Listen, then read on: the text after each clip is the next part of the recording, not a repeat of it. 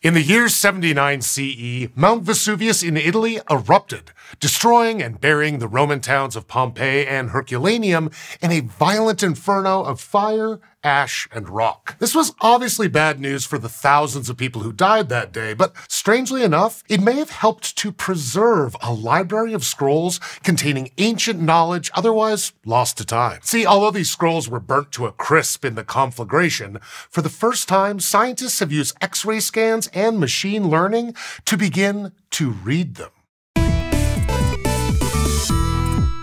Almost everything we know about the ancient Greek and Roman world comes from only a tiny fraction of their written literature. Books and scrolls are fragile and stuff just gets lost. But in 1750 CE, a farmer found what turned out to be a buried library with thousands of scrolls in a villa near Herculaneum. The villa belonged to an important Roman statesman, possibly even a relation to Julius Caesar, who liked to show off their wealth and taste with big collections. The more things change. The scrolls may contain works no modern person has ever seen, which would hugely expand our knowledge of the classical world. But they were all, you know, destroyed by a volcano, so end of story, right? Well, it turns out that the eruption may have helped to preserve the scrolls in an odd, roundabout, haphazard sort of way. See, rather than being reduced to ash, these scrolls were buried, blackened, and only mostly destroyed. And mostly destroyed is still slightly intact. They were just waiting for someone to work out how to read them. Then in 2015, scientists trying to decipher a similarly charred ancient document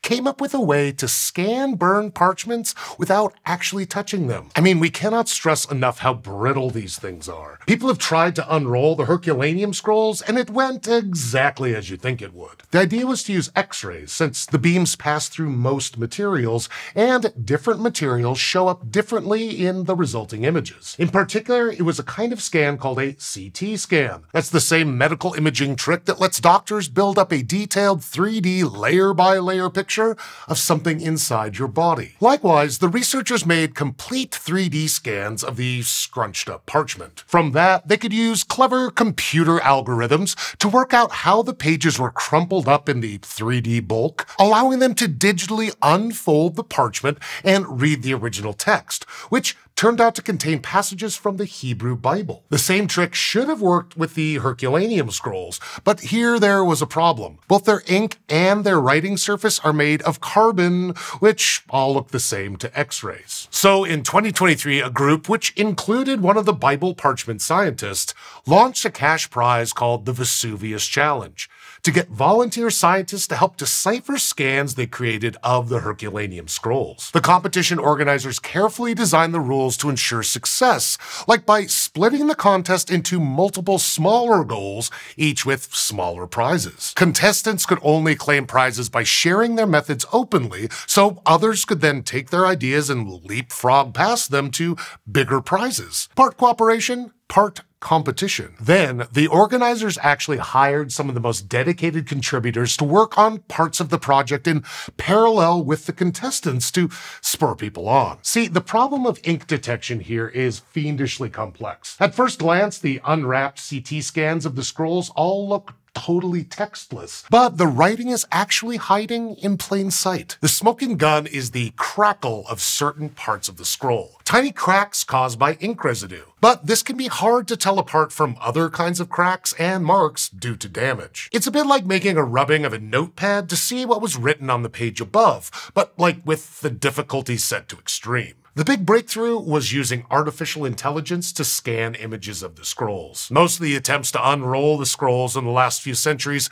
have served to destroy them. But in some instances, ink can be read off of them, including via infrared scans. This meant that there was a database of scroll images that had been successfully read. Just what you need to train a machine learning model to identify more text from images. So the contestants each designed algorithms to scan images in tiny chunks, compare details to known ink sources, and then spot ink in uncategorized images from scrolls that had been scanned and digitally unwrapped. Of course, AI on its own can be unreliable, so the organizers were careful to proofread the code and verify the work using human eyes whenever possible. Also, the algorithm could only recognize millimeter sized bits of scroll textures, not whole letters, so it couldn't hallucinate fake letters like some image processing AIs are infamous for doing. The hard work eventually paid off. In late 2023, several people won the first major prize for successfully deciphering one of the words from the scroll, which was the Greek word for purple in case you were wondering. Soon after, three people who'd won prizes earlier in the competition teamed up and combined their expertise to win the first grand prize of $700,000 for deciphering a whole section of text. The really cool thing is that they weren't archaeologists by training. They were computer scientists, many of them students, handing archaeology a huge gift. In fact, the competition is still ongoing.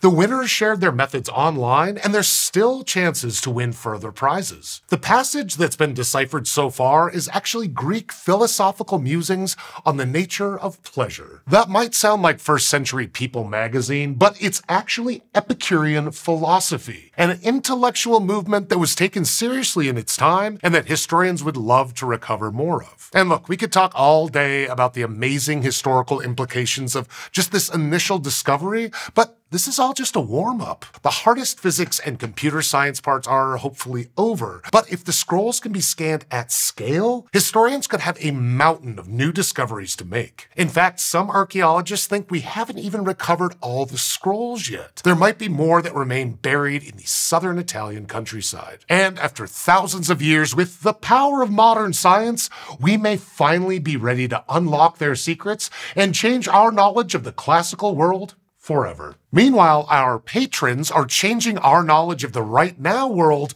by helping us make these videos for everybody. You guys are super cool, so thanks.